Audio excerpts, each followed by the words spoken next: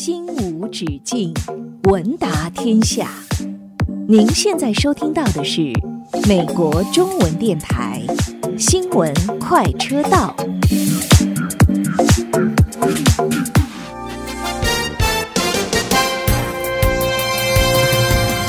听众朋友，大家好，今天是二零二四年四月十七号，星期三，我是主持人肖芳，欢迎收听正在直播的新闻快车道节目。今天节目主要内容有：杜立特上饶救援行动纪实片展映开始；西雅图大学区中获公共卫生间；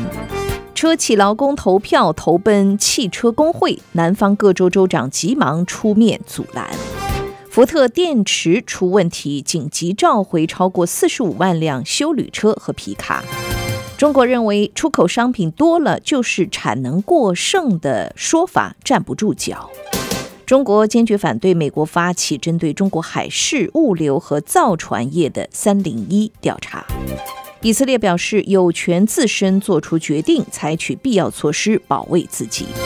日本观光局说，今年三月份有三百零八万外国游客到日本观光旅游。下面请听今天节目的详细内容。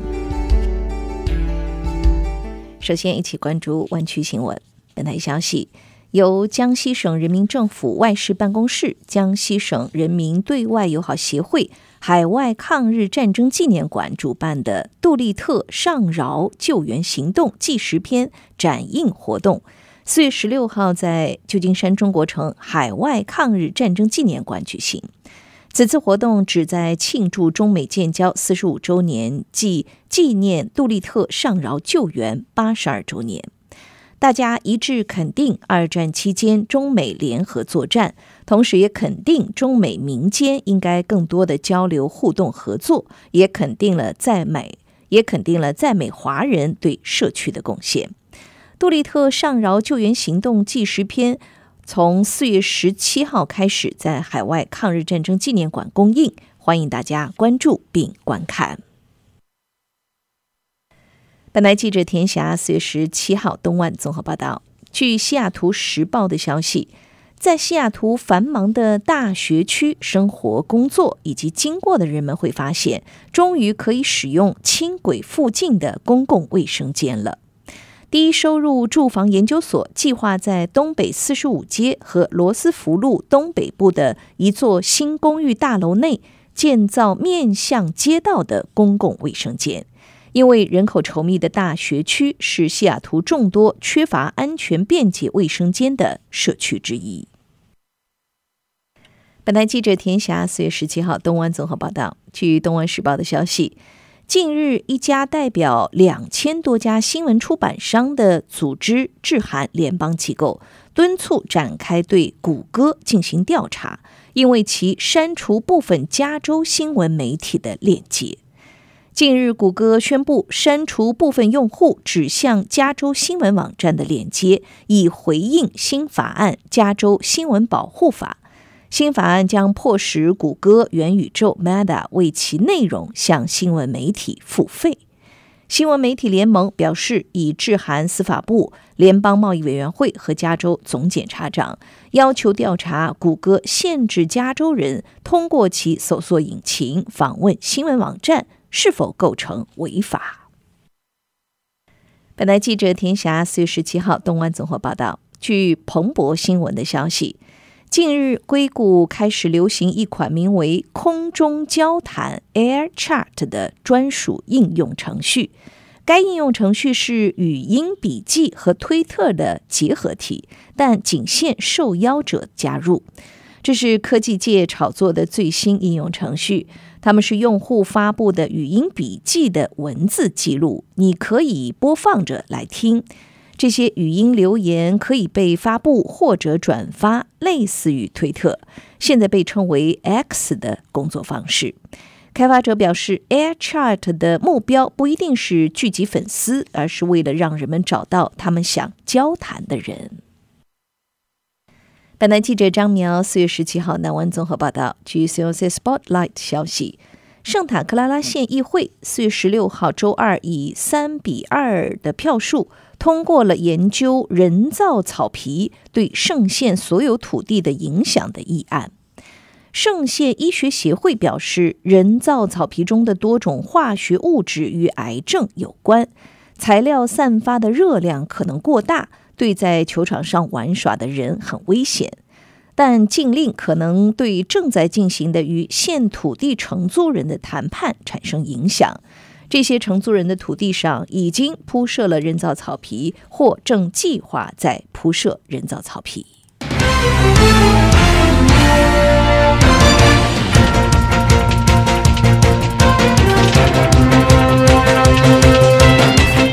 继续来关注美国新闻。本台消息，俄亥俄州共和党人给拜登找了一点小麻烦。他们表示，在今年十一月的总统大选的选票上，拜登和贺锦丽的名字可能不会出现，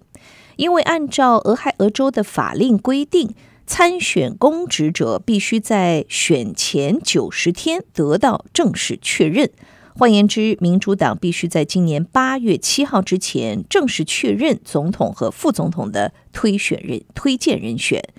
而民主党全国代表大会计划在八月十九号才能正式提名拜登和贺锦丽。除了俄亥俄州之外，阿拉巴马州和华盛顿州也有类似的选举截止日的规定。据悉，民主党一直在与俄亥俄州的州务卿富兰克·拉罗斯就这个问题进行疏通和磋商。本台消息：本周三，大众汽车在田纳西州的工厂的工人组织了一次投票，决定是否投奔全美车企联合工会 （UAW）。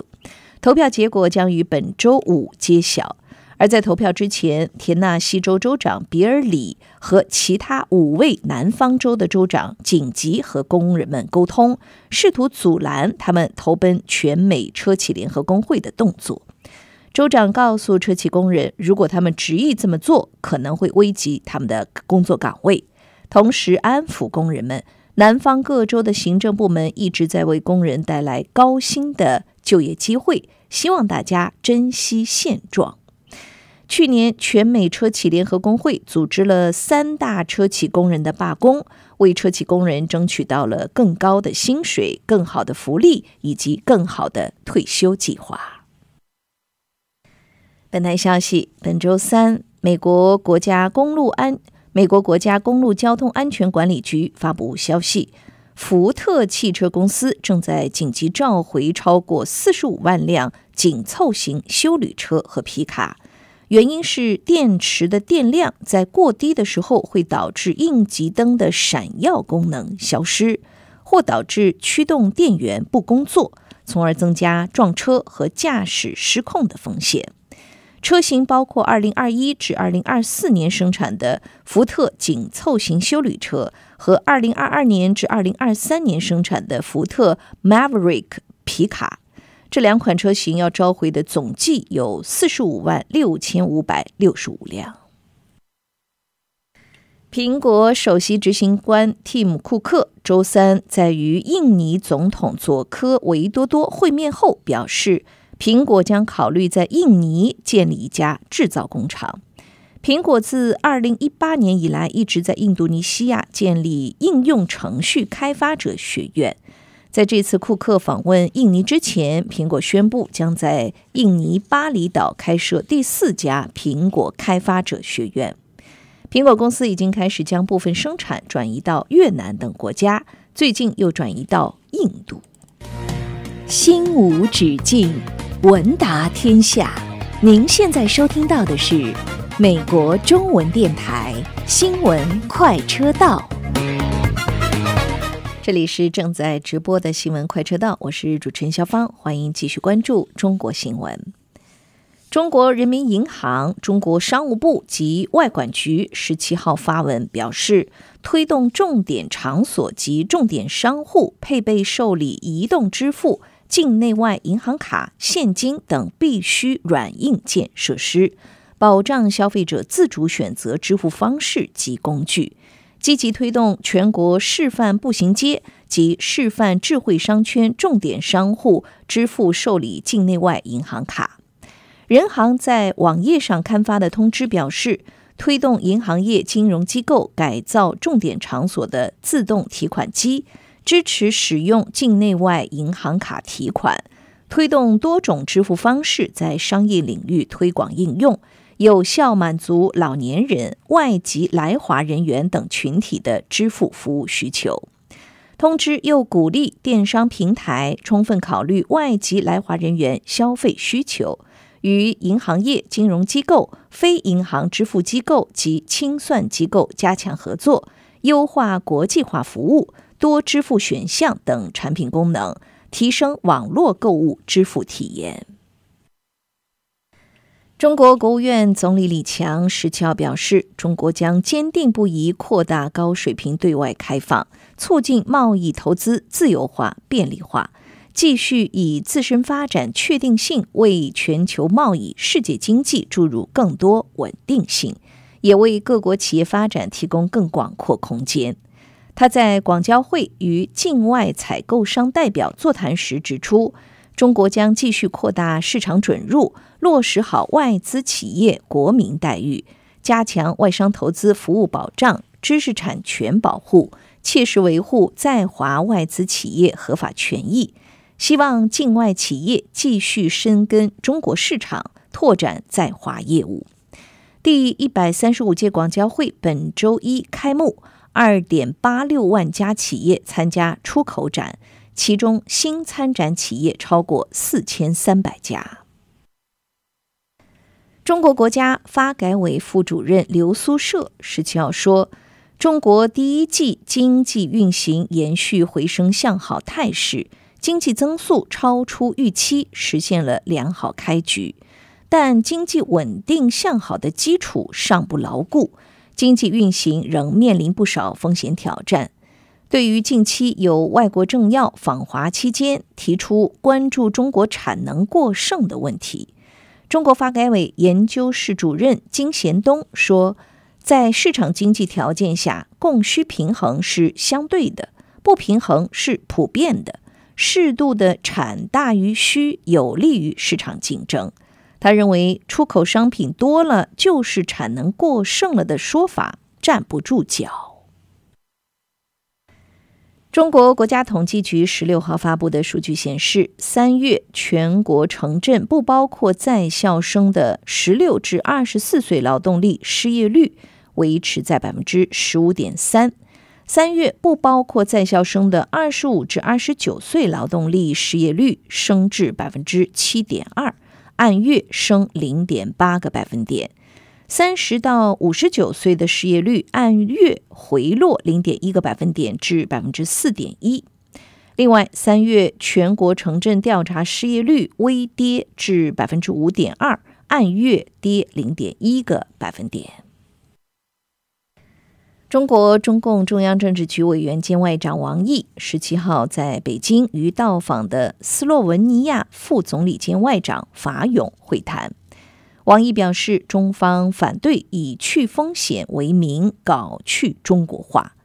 中国和斯洛文尼亚要共同维护自由贸易，坚持相互开放，反对保护主义，拓展互利合作。希望四方给予中国企业公平公正、非歧视待遇。也欢迎四方企业来华投资兴业，深耕中国市场。中方将会提供良好营商环境，实现互利共赢。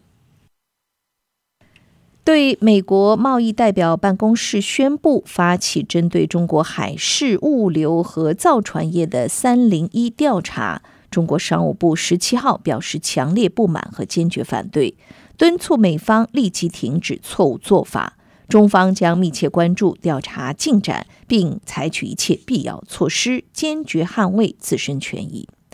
发言人说，美方申请书中充斥大量不实指责，将正常贸易投资活动曲解为损害美国国家安全和企业利益，将自身产业问题归咎于中国，既缺乏事实依据，也有违经济常识。中美金融工作组十七号在美国华盛顿举行了第四次会议。会议由中国人民银行副行长宣昌能和美国财政部助理财长奈曼共同主持。人行在网站公布，双方就两国货币政策与金融稳定、金融监管合作、金融市场制度性安排、跨境支付和资料可持续金融、反洗钱和反恐怖融资、金融基础设施以及双方关心的金融政策议题进行了专业、务实、坦诚和建设性的沟通。香港保安局十七号表示，自香港国安法生效后，截至上个月八号，共二百九十一人因涉嫌从事危害国家安全的行为和活动而被警务处拘捕，年龄在十五至九十岁之间。这些案件中，超过一百七十人及五家公司被检控，一百一十二人已被定罪判刑或正等候判刑。已解散的香港支联会没有向警方国安处提交资料案。支联会前副主席邹信同等三人向高等法院申请终审法院上诉许可证明书，十七号被驳回。法官李婉基认为本案没有重大而广泛的法律观点，申请人并无合理争辩，因此驳回相关申请。邹信同与。两名前常委邓月君、许汉光于二零二一年没有应警方国安处要求提交资料，被裁定没有遵从通知规定提供资料罪成，被判刑四个半月。三人早前上诉被驳回之后，提出上诉至终审法院。